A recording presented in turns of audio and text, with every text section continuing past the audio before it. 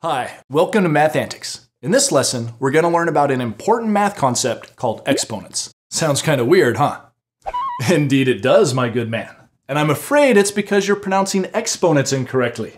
The proper pronunciation is indices. Indices. Oh yeah, that's right. In a lot of countries, exponents are called indices.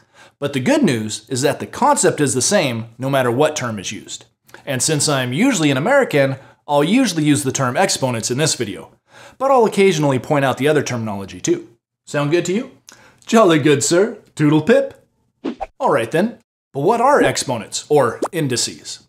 Well, just like the four main arithmetic operations that we use in math, exponents are a type of math operation. They tell us what to do with numbers.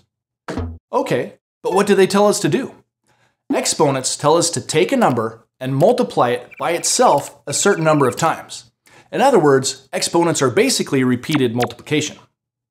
To help you understand what I mean, let's review multiplication for just a second. Do you remember how multiplication is basically repeated addition? For example, 2 times 4 is a shorthand way of writing 2 plus 2 plus 2 plus 2. It's the same as four 2's being added together, which equals a total of 8. Now, let's compare that to a similar exponent. Yep, that's an exponent. And in a minute, we'll talk about why it looks like that and why the numbers are different sizes. But for now, you just need to know that this exponent tells us to take the number 2 and multiply it four times.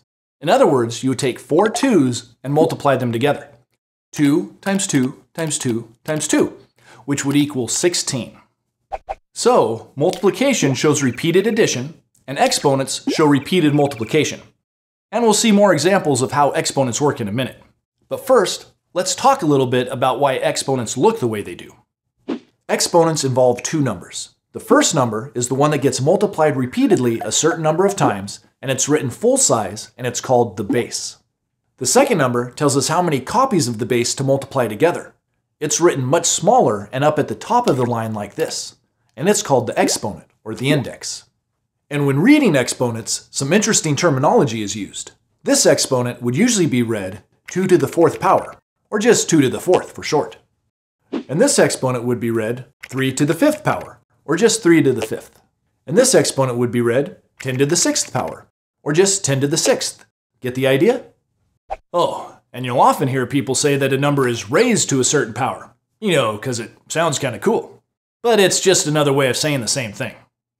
Unfortunately, that terminology has created a little confusion. Traditionally, you'd say you have a base raised to a number called an exponent, and the answer you get by doing that is called a power of that base.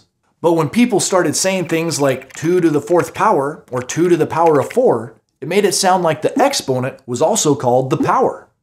The result is that nowadays you may hear people use the words exponent and power to mean the same thing. It's unfortunate that the terms have become so mixed up or wonky, but as long as you understand that the base is the number that gets multiplied repeatedly, and the exponent tells you how many of them to multiply, you'll be in good shape. But I know what some of you are thinking. Where's the operator symbol? If exponents are math operations, don't we need a symbol that goes between them, like there is with multiplication and the other arithmetic operations? Well, yes and no. Most of the time, we don't need a special operation symbol because of the way the numbers are written. Since the exponent is written smaller and up at the top of the line, it looks much different from a normal digit, so we don't need to use a symbol. In math, whenever you see a regular sized number with a smaller number up and to the right, you know it's an exponent. And once you get used to seeing exponents like this, it's easy to recognize them. The only real concern is when writing exponents down on paper when you're trying to solve problems.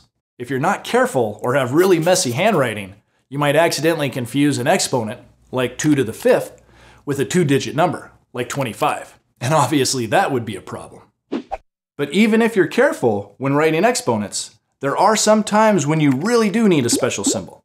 Like when you type an exponent into a computer. In that case, it's very common to use the caret symbol as the exponent operator. The caret symbol looks like this. So 2 to the fifth power would be written as 2 caret 5, and 3 to the fourth power would be written as 3 caret 4. And that notation is used all the time in computer programming. Oh, and one more thing you should know before we move on. is that exponent operations do not have the commutative property. In other words, you can't switch the order of the numbers without getting a different answer. For example, 2 to the fifth power is 2 times 2 times 2 times 2 times 2, which equals 32. But if we switch the numbers, 5 to the second power is 5 times 5, which equals 25. So exponents do not have the commutative property.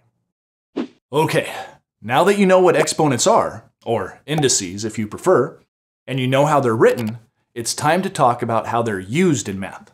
As I mentioned earlier, exponents are a way of doing repeated multiplication. 3 to the second power is the same as 3 times 3. 3 to the third power is the same as 3 times 3 times 3. 3 to the fourth power is the same as 3 times 3 times 3 times 3. 3 to the fifth power is the same as 3 times 3 times 3 times 3 times 3. See the pattern?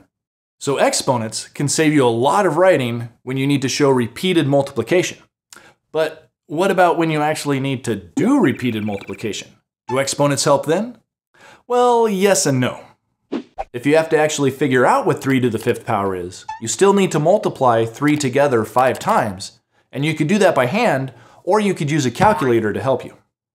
In fact, if you have a multifunction or scientific calculator, it might have a button on it that looks something like this x to the power of y, which makes calculating exponents really easy. Let's try using that calculator function to figure out what this exponent would be. 6 to the fourth power, which is the same as four sixes multiplied together. On most calculators, this is how the exponent button works. First, you type in the number that's the base of your exponent. So in this problem, we type in 6, and then you'd hit the exponent button which might not do anything besides let the calculator know that the next number you give it will be an exponent. So next, you enter the exponent, which is 4 in this case. Now all you have to do is hit the equal sign to get the answer, which is 1,296. Wow! As you can see, knowing how to do that with a calculator saved us a lot of work. And now we know that four sixes multiplied together will be 1,296. In the examples we've seen so far, We've only had simple one-digit exponents, like 2, 3, or 4. But exponents can be any number. You could have 2 to the 84th power, or 12 to the 516th power. In fact, as crazy as it sounds, you can even have exponents that are decimals or negative numbers. But we'll save advanced exponents like that for future videos. In the last part of this video, I want to focus on the two most common exponents you'll encounter, which are 2 and 3. That is, you'll very often see a number raised to the second power or to the third power. In fact, those exponents are so common that they even have special names. When a number is raised to the second power, we say it's being squared. So 5 to the second power is also referred to as 5 squared. And 12 to the second power would be 12 squared. Now if you're new to exponents, that might sound kind of funny. But can you think of a reason why the term squared is used? Yep, that's how you'd calculate the area of a square shape. Since squares have sides that are all the same length, if you multiply that length together twice, like 4 times 4, or 5 times 5, or 6 times 6, it gives you the area of that square. And it's a similar story for numbers that are raised to the third power. In that case, you'd say that the number is being cubed. So, 5 to the third power is also 5 cubed. And 8 to the third power would be 8 cubed. Since cubes are three-dimensional objects with sides that are all the same length, if you multiply that length together three times, you would get the volume of the cube. So squaring a number gets its name from squares, and cubing a number gets its name from cubes. And that helps explain why the exponents 2 and 3 are really common in math. Because we interact with two and three dimensional objects all the time in the real world, there are lots of practical applications. Okay, so now you know that exponents are a way of showing repeated multiplication, and you also know what the two numbers in an exponent mean. The base is the number that will get repeatedly multiplied together, and the exponent, or index, tells us how many times to repeat it. In the next video, we'll learn more about exponents and their inverse operations called roots. Learning math takes a lot of practice, so be sure to practice what you've learned in this video. Thanks for watching Math Antics, and I'll see you next time. Learn more at mathantics.com.